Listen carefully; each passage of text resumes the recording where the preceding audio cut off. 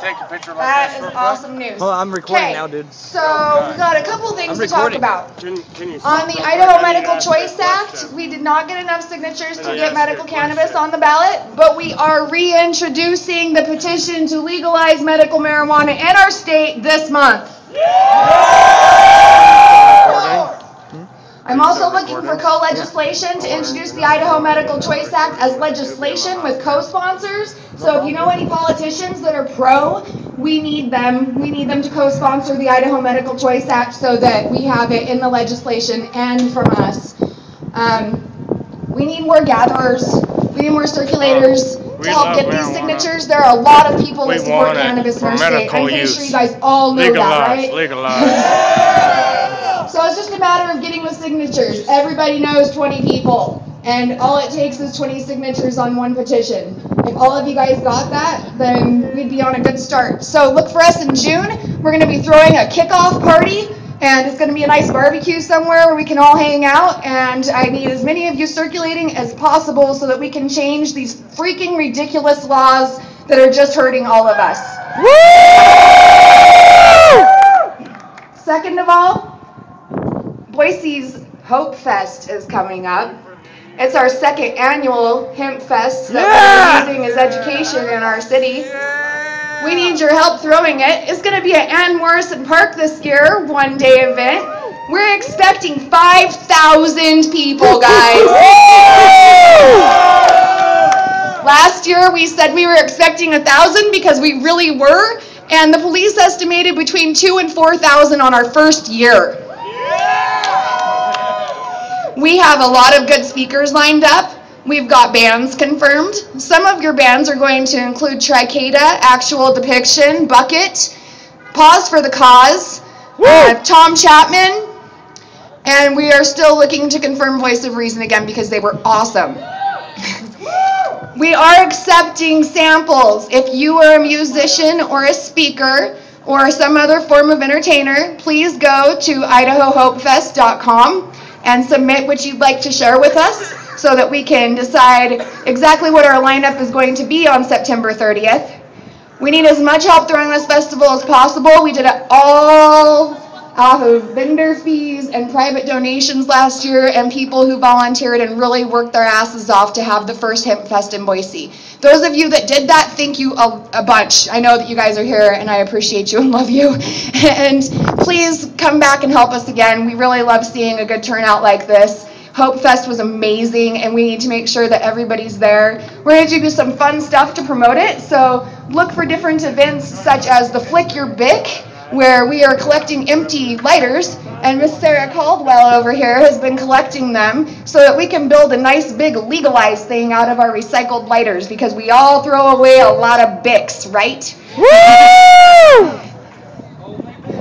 We also are going to be looking to have some sort of flash mob to promote Hope Fest. Those of you that are interested in doing so, please go to our web page on Facebook and let us know that you would like to help out. We also have some other promotional stunts planned that are a little bit more secretive, but we'll ask you for your help when they get here. And we really appreciate you guys coming out. Remember the acts of civil disobedience are, you know, our own responsibilities. Police have been really respectful to us, so let's be respectful to them, please. And thank you for coming out here, guys. You guys are freaking fantastic. Woo! Lindsey, yeah! All right, so we're at about 4:15 here, and I just want to put out a thank you to our wonderful law enforcement officers that are here to protect us today. So let's give them a round of applause, you guys. Thank you for hard work and effort. Yeah! Remember, there is the law enforcement against prohibition. Check them out. It's called LEAP. Many people that you may work with may be a part of this already. Um, in saying so, I also would like to mention that in passing medical marijuana, you have to vote for it. So register to vote. If you're not registered to vote, you don't get your choice, your voice, or anything else. So remember to register to vote. We have a table set up down here in the corner. And uh, if you want to make a donation to help out with Compassionate Idaho or the Hope Festival or even next year's GMM, there is a bucket on the table. Feel free to do so. And I'm going to go ahead and introduce our next speaker, Derek Fleet.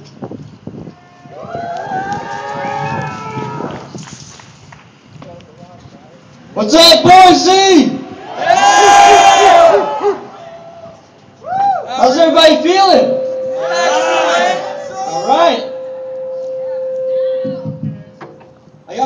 Question for you guys. I think your glasses are setting it off, Derek. Why not? Why not legalize it? There is no reason.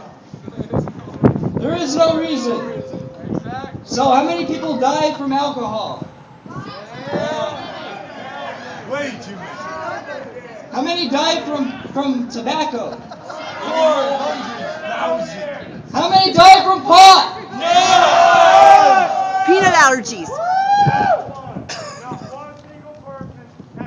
from marijuana. That's right, not a single person has died from smoking pot. So what time is it? 417. It's 417. We got three minutes. You guys ready? We are ready.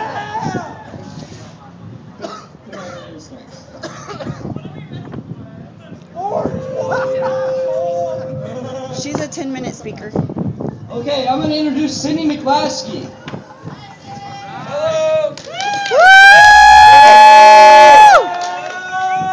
Well, to start out with, I think I'm the oldest person here.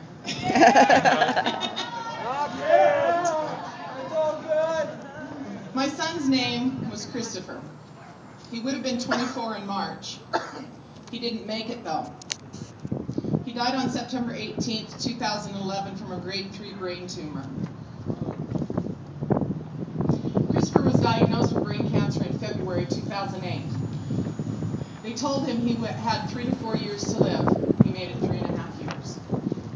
In the spring of 2011, he had been dealing with cancer for over three years, and he was running out of time, and the tumor was growing. When he started the last chemo treatment that they, that they could try, we suggested to him that he might want to try cannabis to help him with nausea, headaches, and anxiety. He wasn't sure he wanted to go that route. Chemo was finished in June. He was not getting any better. The tumor was still growing. The headaches and anxiety were worse. The 419. prescribed Pain medications were not working. He decided to try cannabis in hopes of feeling better. We were approached by members of Mothers for Marijuana. She told me she could supply cannabis to Christopher in capsule form, so he wouldn't have to smoke it. We graciously accepted with the encouragement of his hospice nurse, and Christopher ingested the cannabis. The change was remarkable. He was very comfortable. He was even able to have a visit from Kenny Loggins in our home. About a week before he died, he asked me to write something for him. This is what he said. Yep. Dear Idaho Senators, my name is Christopher McClaskey. I was a cancer patient. I have passed on already. When I was alive, I was on a dozen medications and mar- medical marijuana.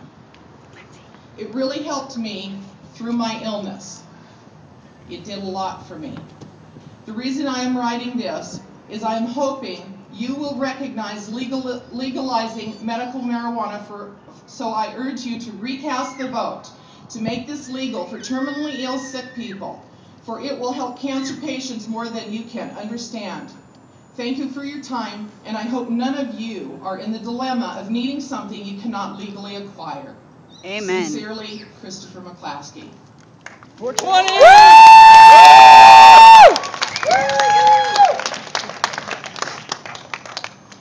If you guys are gonna celebrate 420, it's about that time. Heidi Golden here is here to explain some stuff to you guys about some interesting things. If Heidi would like to stand up and say her piece, I will definitely Hey Heidi! Woo! My name is Heidi and I have been a part of Moms for Marijuana for a few years. My story is less than two days ago, I lost my father to stomach cancer. I grew up in an LDS family where that was very much frowned upon.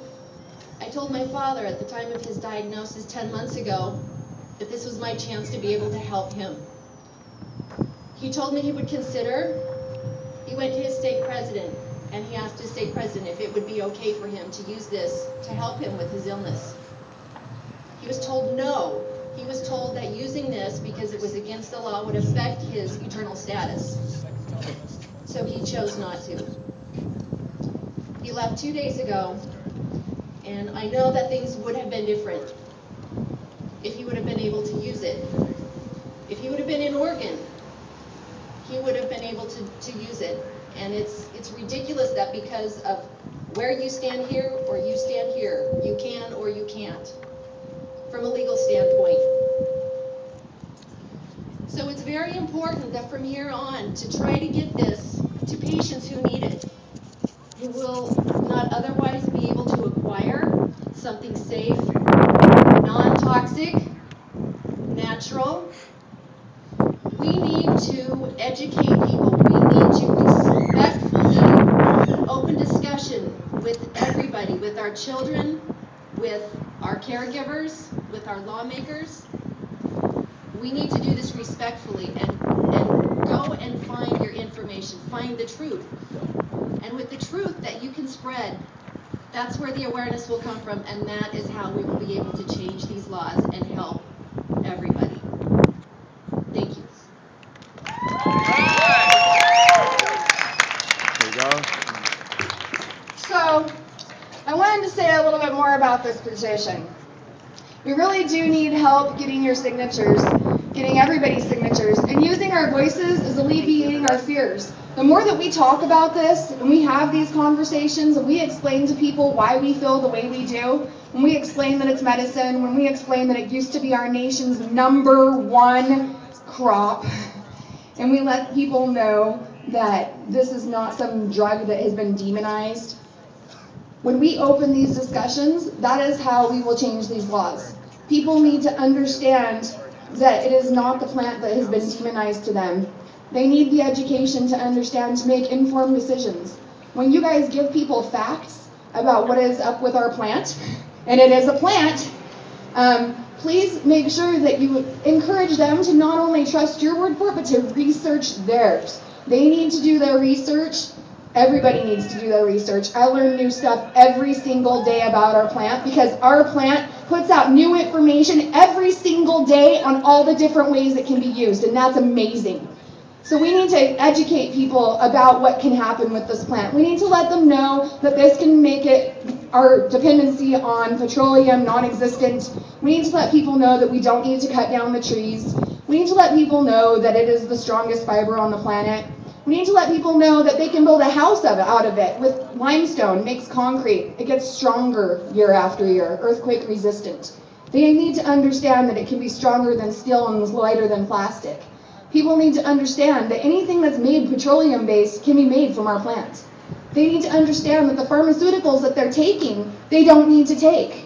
There are a lot of people on pain pills. We had 37,000 deaths from pain pills in 2010. Is that okay? No!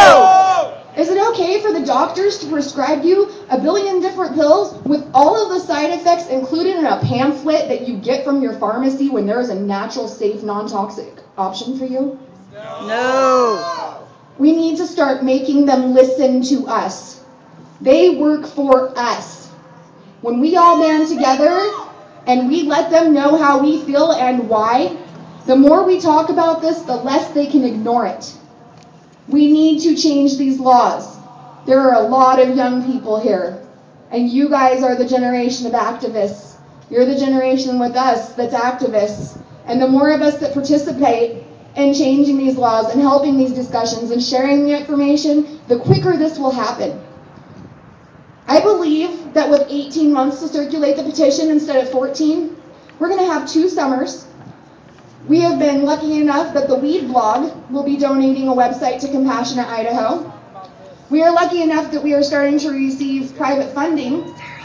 We're lucky enough that people are coming out in support like this instead of being apathetic and sitting at their houses. So thank you for coming out.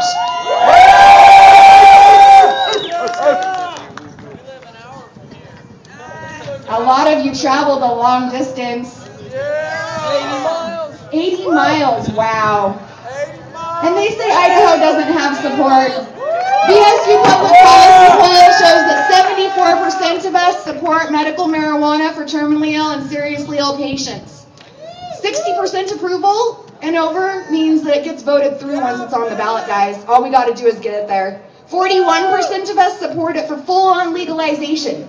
With education, do you realize how much you guys could transform that number?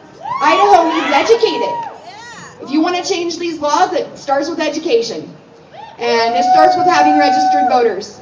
When people sign the petition and they're not registered to vote, it automatically takes away their voice. The county clerks have thrown out about 3,000 signatures, if not more, because people weren't registered to vote. If you have moved, if you have had your name, if you have not voted in the last four years, please go to the table and register to vote. There's elections for your local people May 15th.